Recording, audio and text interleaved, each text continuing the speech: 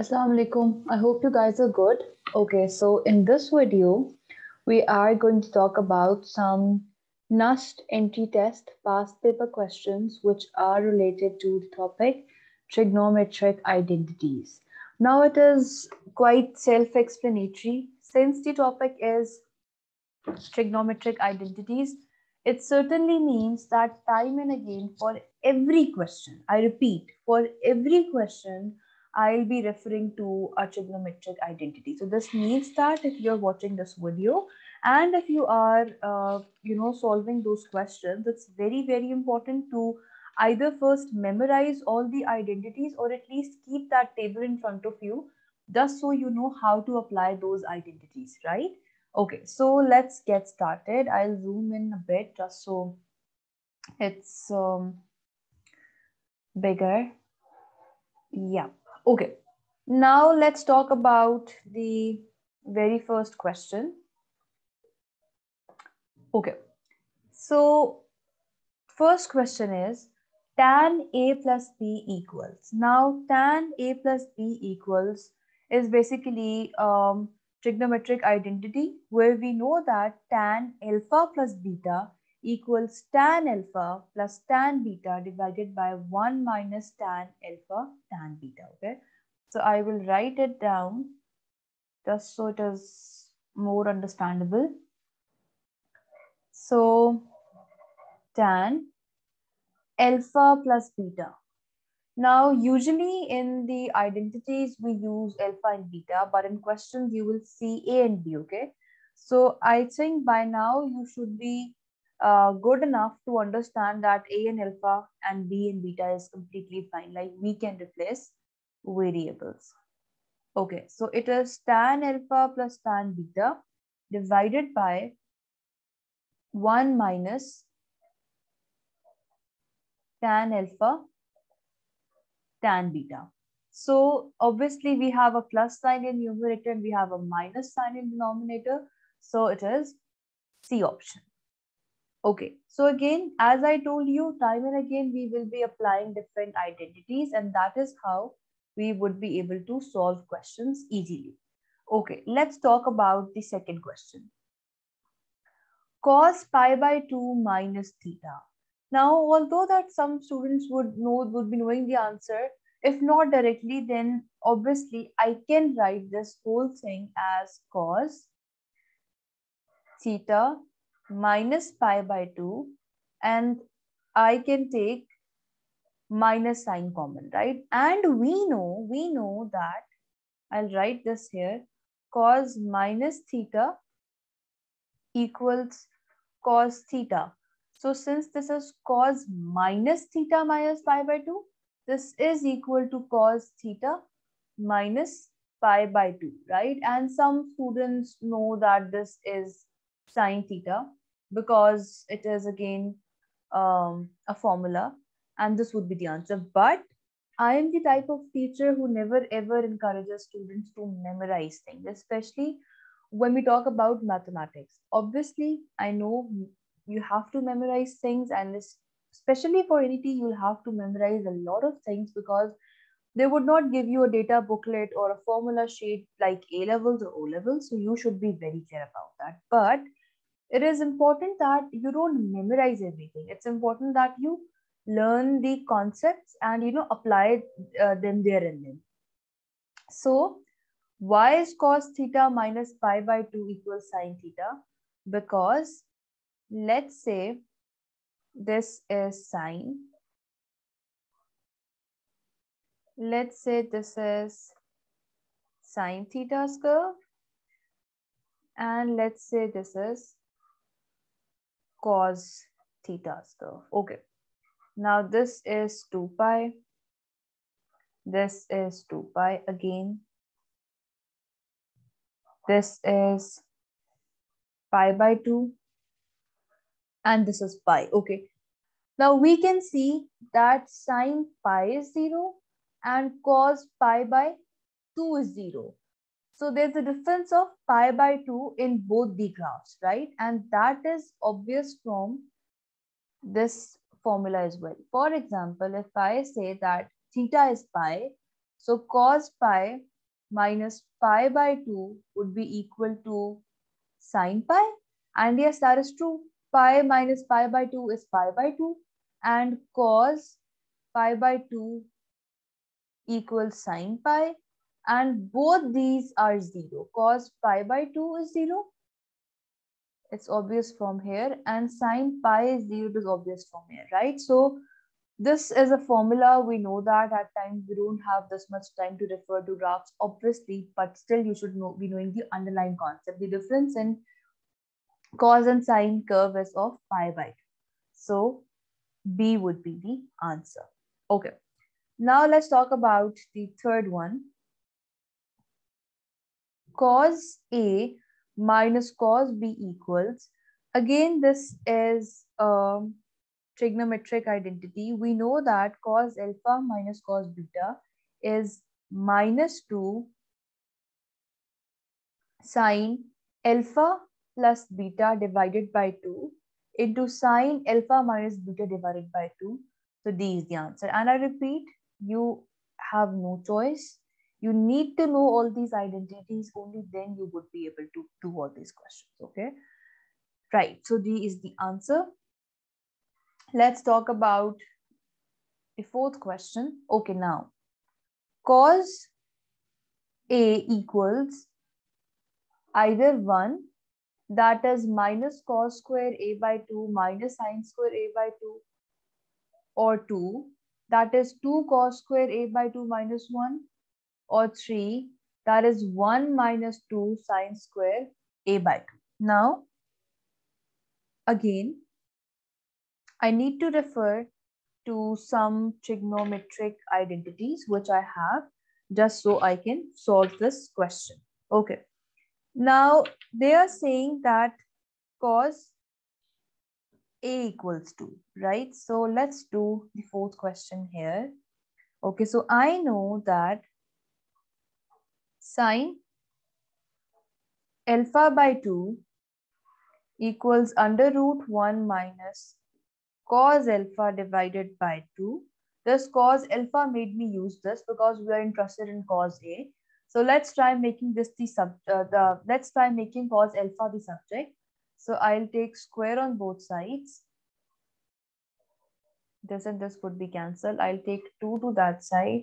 This will give me 2 sine square alpha by 2 equals 1 minus cos alpha.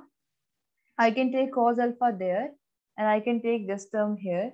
So finally, I'm going to get cos alpha equals 1 minus 2 sine square alpha by 2. Okay, so this is 3. Okay, so 3 certainly is the answer. This means that A cannot be the choice because A option says 1 only and C cannot be the choice because C option says 1 and 2 only, right? So 3 is the answer. So the answer could be B or D. Let's see if 2 is the answer or not, right? So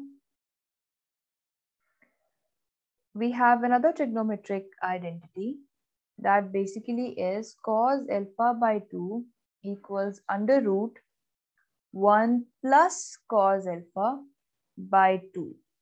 So this means that again I'll square both sides this would be cancelled. I take 2 there. This will give me 2 cos square alpha by 2 minus 1 equals cos alpha. So this is 2, right? So B is the answer. Okay. B is the answer, right? And again, it could be that D is the answer, but since there's no trigonometric identity, I don't have any trigonometric identities with which when I play, I get this, right? Either I will get 2 or I will get 3. So 2 and 3 is the answer. Okay, now let's talk about the fifth question. So we have sine theta minus sine phi. Okay, now we have two sines with different angles and they are being subtracted. So again, we need to, obviously, when you'll be sitting in exam or while preparation, you will have multiple tables coming to your mind that, okay, is it the double angle um, formula or is it the half angle formula or is it the addition formula and stuff like that, right? So it is cos theta, uh, it is sine theta minus sine phi. So it is difference to product formulas, right? This is difference and this difference would be basically a product. So the answer would be we have minus, so this is going to be A. 2 cos alpha plus beta by 2 sine alpha minus beta by 2, right? So in general, we know that sine alpha minus sine beta is 2 cos alpha plus beta by 2 into cos alpha minus beta by 2, right? So this is basically A option. The only difference is in alpha and beta. We have different angles there and that is completely fine, right? So we call them difference to product formulas, right? Now this was a difference of sine with different angles and we need to refer to a product, right? So A is the answer. Okay.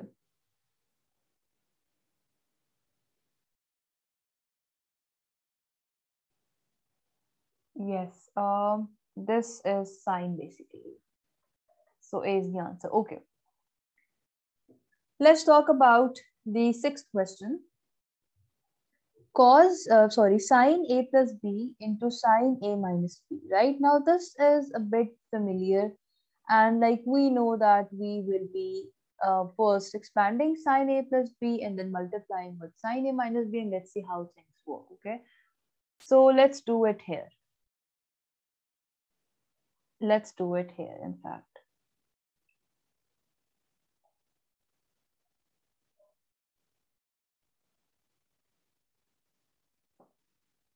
Okay, so it is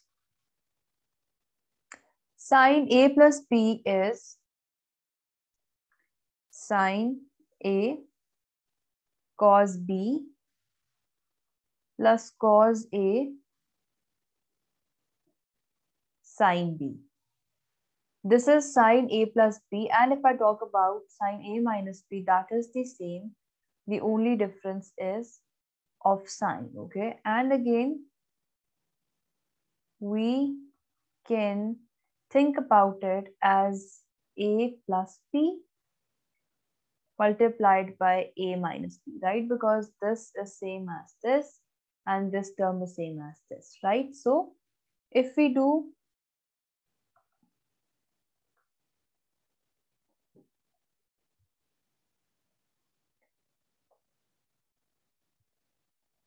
a plus b into a minus b, we get a square minus b square. So I will get sine a cos b whole square minus cos a sine b whole square. Okay. So this is what I'm getting and so far I am not close to the answer this is not the answer. So we need to make more changes, right? So I can write it as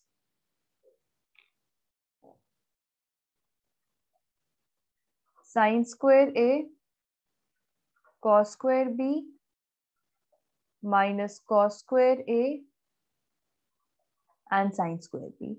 And now instead of sine square, I can write 1 minus cos square A into cos square B minus cos square A and instead of sine square B, I can write 1 minus cos square B. Now I have to multiply and I will get cos square B minus cos square A cos square B minus cos square A plus cos square A cos square B. These two terms would be cancelled and I have cos square b minus cos square a. So this would be the answer, right? Again, this question was very simple. I personally think I, I've been teaching. So students, most of the students are familiar with these um, expansions, right? Like they know what sine a plus b would be and what sine a minus b would be.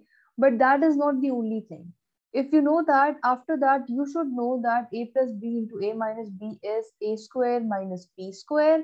And then you have to expand it, simplify it, and then you get the answer, right? So again, I've been telling you guys, some questions would be very simple. They would require um, some seconds or so, but there would be some questions for which you will at least need two minutes or two and a half minutes, right? So time allocation is very important. Okay. Let's talk about the seventh question. Okay, so tan theta by 2. Now this is a property. We know that tan theta by 2 equals under root 1 minus cos theta divided by 1 plus cos theta. So this is property and C would be the answer. okay. Now, if I talk about the eighth one, it is cos alpha plus cos beta. As I told you initially, we did difference to product formula in which we had sine. This time around, we have sum to product formula. Like there's a sum. We have uh, cos alpha plus cos beta. This is obviously a sum and this is equivalent to a product. But what product exactly? This product, right? This is equal to 2 cos alpha plus beta by 2 into cos alpha minus beta by 2. Okay, so there's a plus here, there's a minus here, and obviously that is the only difference in all the options. Obviously, some of the options have cos, sine, cos, sine, cos, sine. And here we know that we only have cos, but obviously, these are small details which you need to memorize. Okay? Whatever way you do, you have to memorize all this, and only then you would be able to solve these questions correctly. And yes, obviously, since uh, out of 200 questions, mathematics, like the maths portion is, is only of 80 questions. So out of those 80 questions, there would be, I would say, two to three questions from this section, not every. But still, uh, and yes, I agree that the questions which I um, discuss here are some are very easy and some are difficult, right? So the difficulty level in exam would be normal one because here we are discussing uh, topic wise. So obviously it could be that a topic is difficult. So I, you know, compile all the difficult questions. But if but in exam you will have a combination of different topics and different difficulty levels, right? So inshallah you guys would be able to do a good job there. Okay, so that is it